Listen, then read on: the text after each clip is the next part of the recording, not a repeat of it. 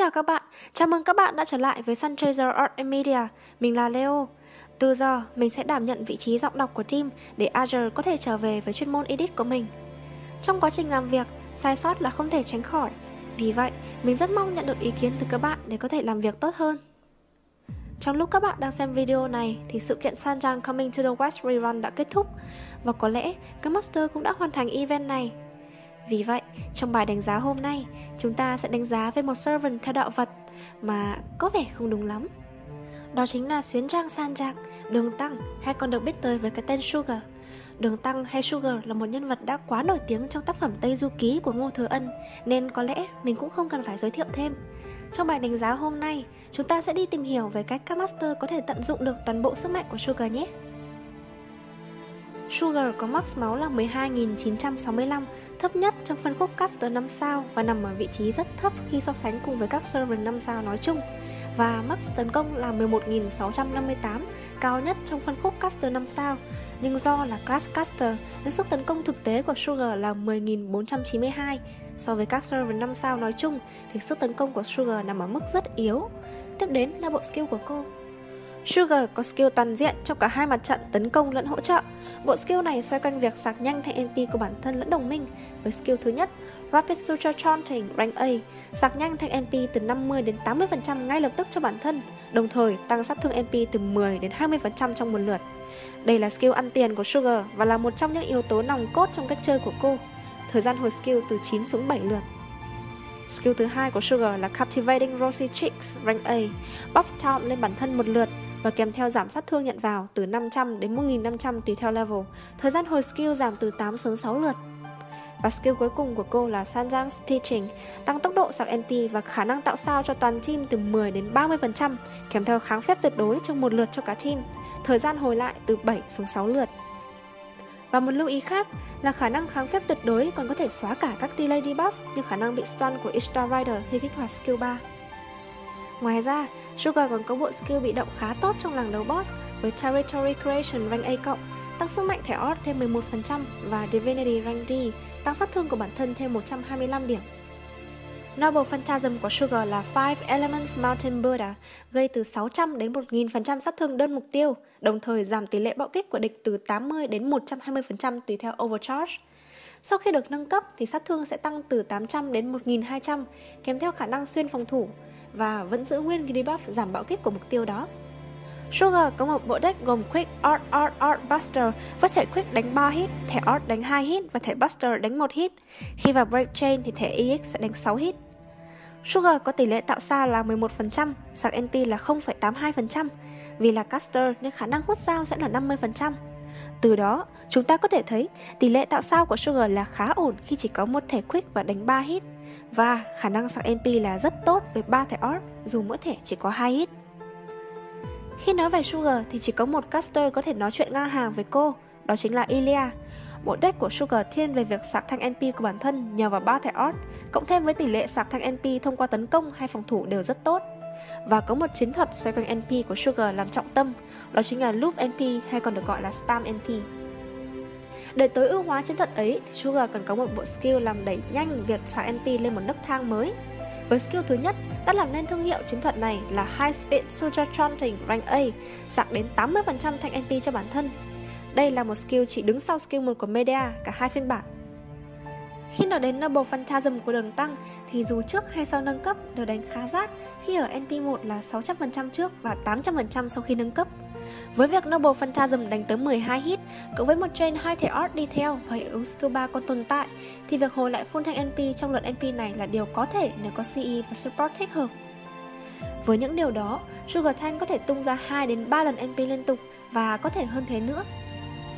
Ngoài ra, trong một số trường hợp servant support chính đang yếu máu mà vẫn chưa có biện pháp hồi máu hay lượng máu hồi vẫn chưa đủ, thì skill 2, Captivating Rosy Chicks rank A của đường tăng sẽ là bảo hiểm cho team buff town lên bản thân một lượt, kèm theo một cái buff giảm sát thương cho bản thân.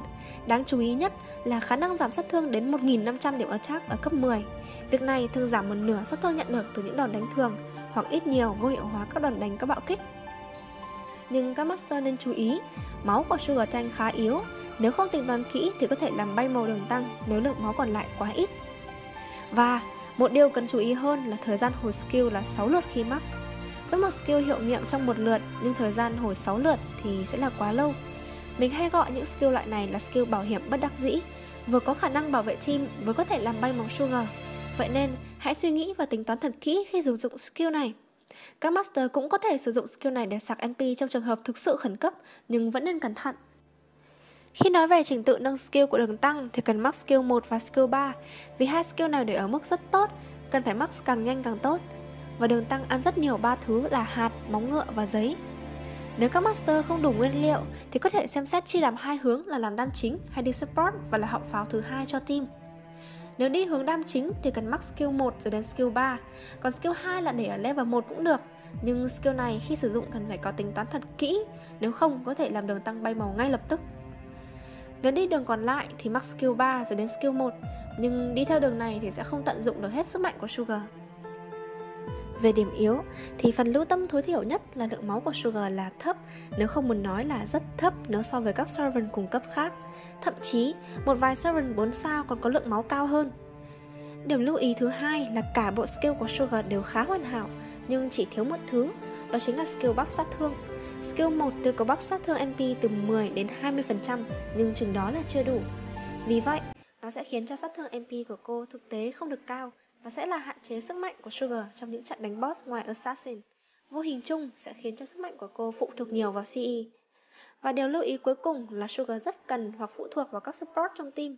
Tuy nàng có thể tự mình đóng góp một số skill hỗ trợ, nhưng trên hết, bộ skill ấy của đường tăng cần có sự support của những servant khác để full thanh MP của mình.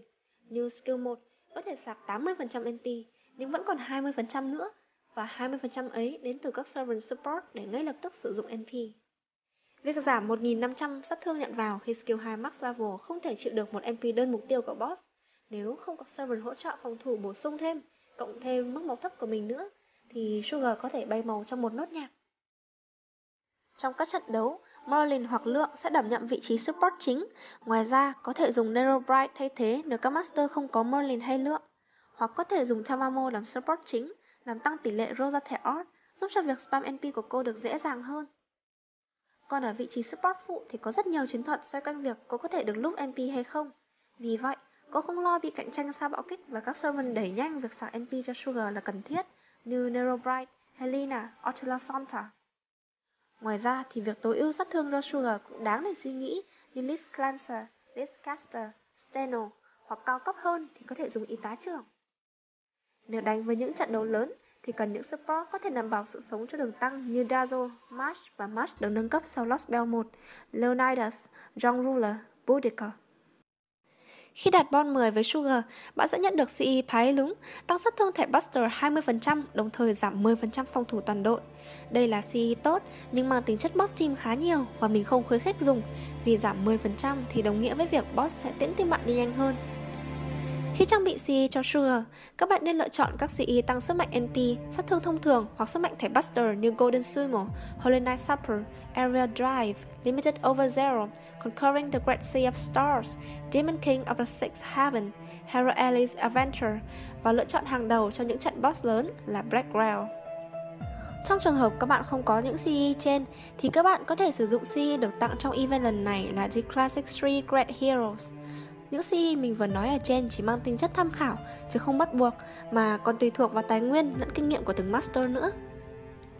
Tổng kết lại về Sugar Sugar là một caster robot tốt với khả năng spam NP liên tục và có thể hỗ trợ team với cái kháng debuff và tăng tốc độ xạ NP. Khi so sánh với Sugar thì chỉ có một caster có thể nói chuyện ngang hàng với cô là Ilia. Sugar cái gì cũng tốt, nhưng chỉ thiếu một thứ duy nhất, đó chính là skill buff sát thương. Điều này khiến cho cô bị hạn chế trong những trận đấu boss trừ Assassin và phải phụ thuộc nhiều hơn vào C và Support. Tuy nhiên, điểm mạnh của Sugar cũng là rất nhiều và có thể lấn ác đi những điểm yếu kia. Cho nên, điểm số cuối cùng mà mình dành cho Sugar là A trừ. Cảm ơn các bạn đã xem video này. Hãy like, share, subscribe và nhất là nhấn vào chuông bên dưới để biết khi nào channel ra video nhé. Xin chào và hẹn gặp lại!